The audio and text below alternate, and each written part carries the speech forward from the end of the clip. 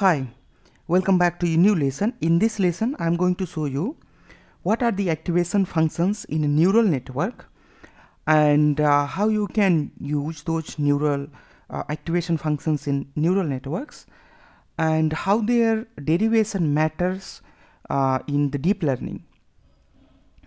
So the first of all, there are two type of activation function in neural networks.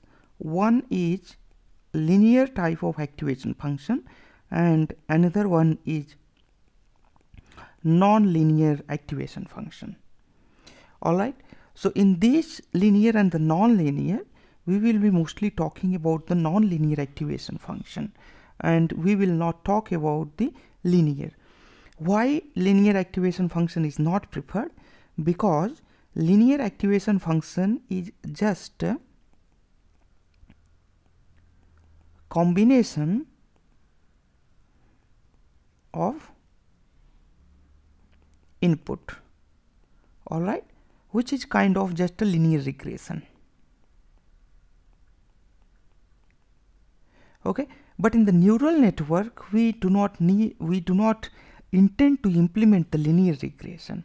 In neural network we make our deep neural networks to learn a complex inputs like video and the images. All right. For that case we need to introduce some non-linearity so that inputs and outputs should not be the linear combination. I mean the output should not be the linear combination of a input. So what is the linear uh, the function? The linear function is fx is equal to just x. Okay but we are not gonna implement. In fact none of the deep learning methods uses the linear activation function. And mostly the non-linear activation functions are used okay almost all the time. So in non-linear activation functions we are gonna talk about the sigmoid hyperbolic hyperbolic tangent and then the ReLU and the leaky ReLU. All right? So uh, the two form we will be talking about. The first one is activation function is itself.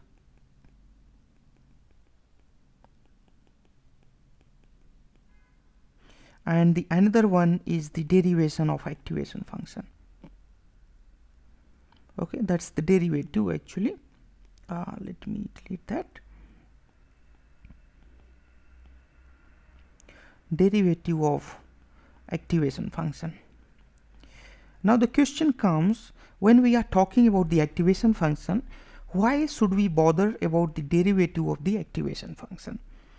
The derivative of the activation function actually defines how fast your network converges. Okay, that's mean how less your training time is. All right?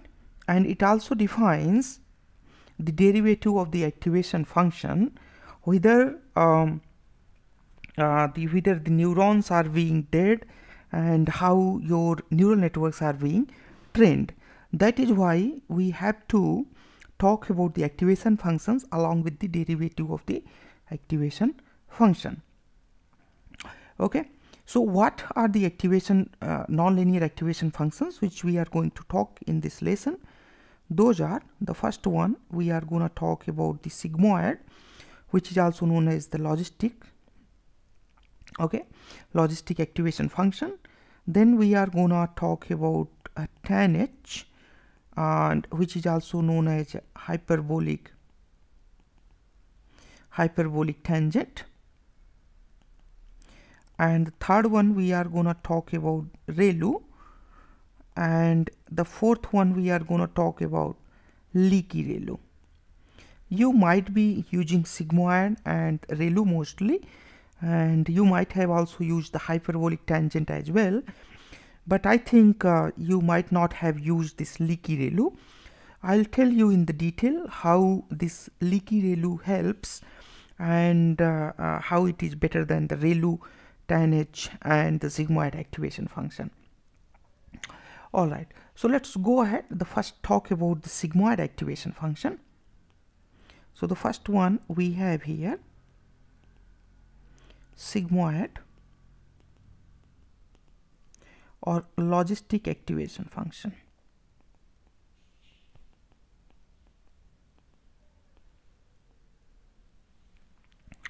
Okay so the function of this activation function now the question comes how these activation function works. Let's say you have here input x1 let me change that. Input uh, sorry. Let's say you have input x1 x2 dot dot xn. All right? And these are connected with the w1 and then w2 and then wn these are the weights. And these weights are being summed here all right. And then there is bias as well. Bias applied there. And then finally here it comes. That is the uh, uh, generally we use it as uh, the activation function. Okay. So we say it activation function. And after this activation functions we get y.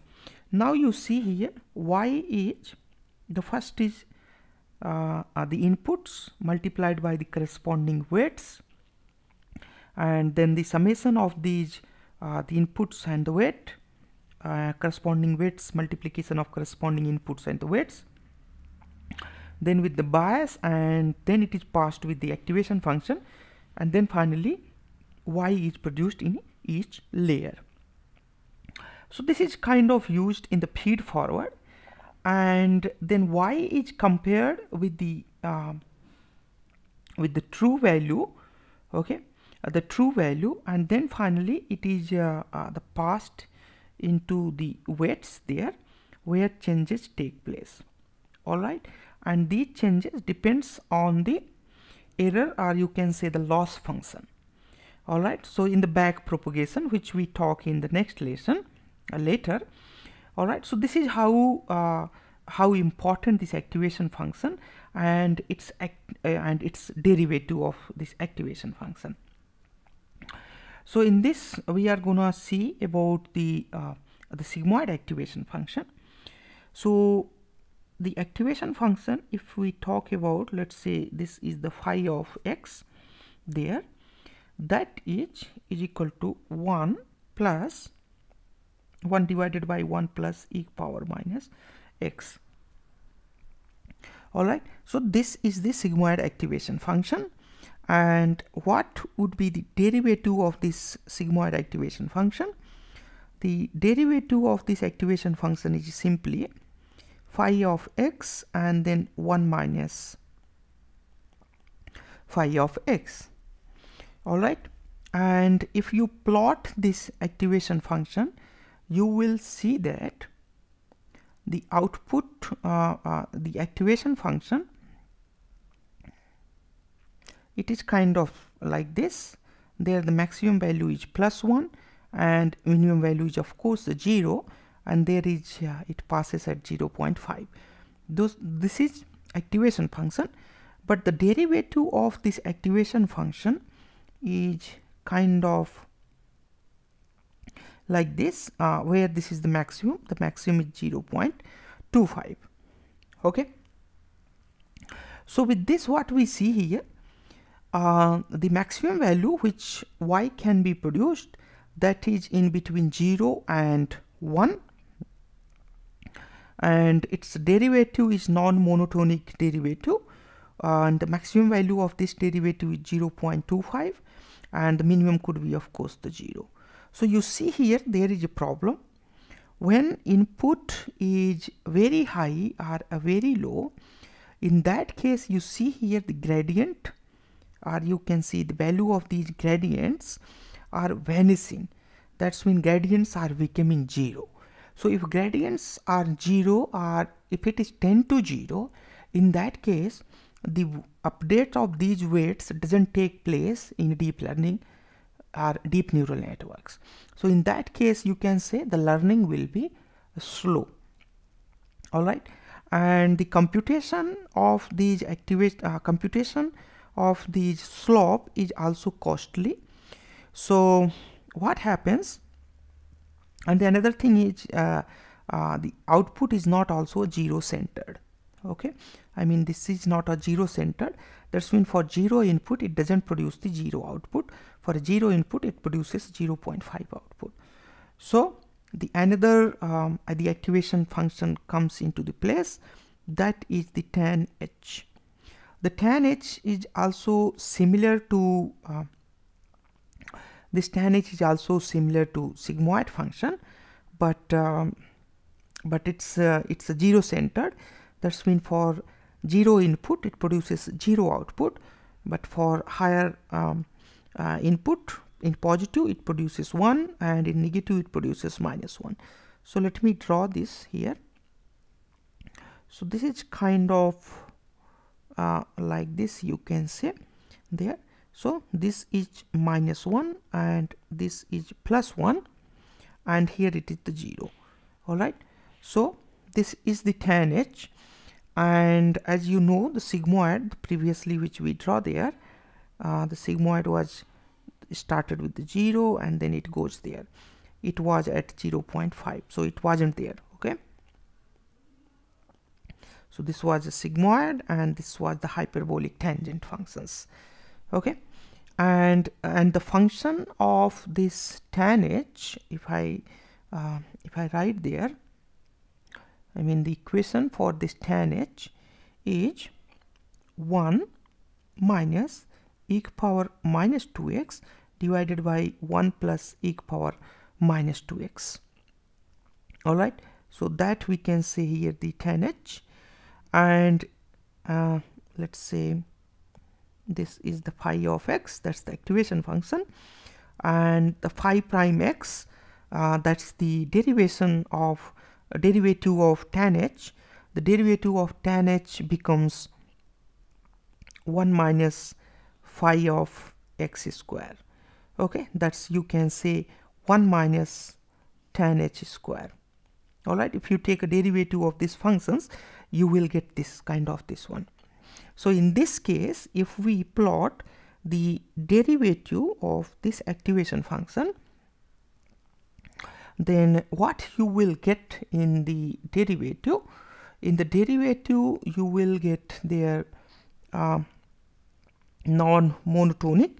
So non-monotonic it will become kind of like this. And these are the value. But in this case it will be the maximum plus 1 but you see here it was 0.25 in case of a sigmoid function. Now the one thing you see here apart from this zero centered value tan h doesn't give much advantage over the sigmoid and tan h and the sigmoid functions are mostly used in the output layer when uh, you want to get uh, the probability of any class okay whether it is 0 or the 1 that's mean mostly in binary classification all right. So after this tan h we have got the another one that is the ReLU. So ReLU is most widely used activation function. Okay. Why ReLU is most widely used activation function? Because it converges fast and it does not suffer uh, uh, uh, much with the vanishing gradient at least when input is greater than 0 but if input is less than 0 then definitely it suffers with vanishing gradient so what is the function of activation activation function for ReLU ReLU activation function is just simply max of 0 or x. So if we plot this you will get something like this. Alright.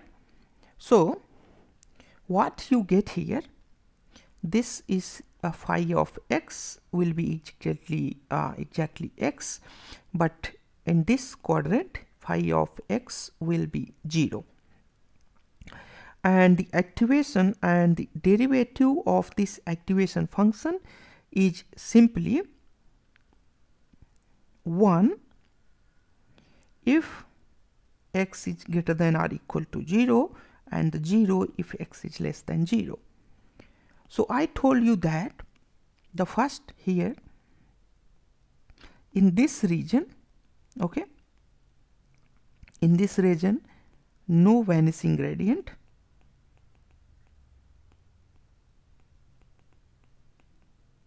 Okay but in this region it suffers with some vanishing gradient okay?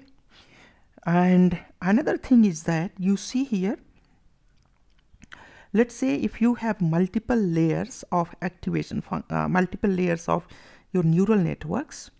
So either your uh, activation derivative of activation function is 1 or the 0 and um, it simply gets multiplied with 1 that's mean the derivative of uh, 1 multiplied by 1 and 1 that's mean in multiple stage of deep neural networks. So the slope doesn't get vanished and the another uh, uh, another advantage is that um, its derivative doesn't uh, uh, take much time in computation because it is simply either 0 or 1 but you see here in the previously in hyperbolic tanh and sigmoid activation function uh, the derivative uh, doing doing the derivation derivatives of activation functions were taking time. That is the another reason why the tanh and sigmoid activation function doesn't converge as fast as ReLU activation functions. So the ReLU activation functions converges faster because its uh, derivative is simply 0 or 1 that's mean it doesn't take much time to much time to take the derivation but the problem comes here in this region where it uh, uh, if input is less than the 0 then in that case uh, the uh, gradient get vanished. And if gradient get vanished uh, then the neural networks or neurons can be uh, the dead and uh, all the neurons might not get fired. Okay during the training. So that can be uh, result of improper the training. So the researchers introduced the another the activation function that is leaky ReLU. And leaky ReLU is similar to ReLU activation function. But here you see in this case what happens? Uh, this goes as it is. That's mean phi of x is x. But here you see uh, there is a little slope where phi of x is alpha of x. All right and then alpha is in general it's 0 0.01 that's when there is very small gradient is also present when input is negative minus infinite to plus infinite. Okay so in this case what happens? The phi of x we can define that's the activation leaky ReLU activation function. Phi of x is x when x is greater than or equal to 0 but alpha of x when x is less than 0 all right. And the derivative of this activation function that's the phi prime x is equal to 1 when x is greater than or is equal to 0 and it is the alpha when x is less than 0 where uh, mostly alpha is 0 0.01 so what happens this leaky ReLU overcomes the problem of ReLU and ReLU overcomes the problem of tanh and sigmoid activation function. So these are the four most widely used activation function nowadays in deep neural network. So thank you so much for watching this video. Please do not forget to like and